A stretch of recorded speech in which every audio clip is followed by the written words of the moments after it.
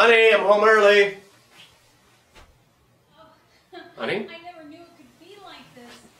You were so amazing outside today. I've never, I've never experienced anything like that. Oh, you're just, you're so bright.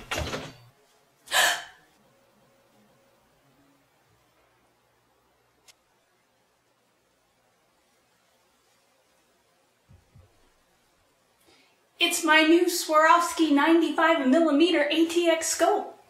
Sweetie? Now I know what you're thinking. 95mm is probably a lot for a short girl like me, but get this! It's modular and waterproof, so I can have a 65mm scope no matter where I travel to in the world.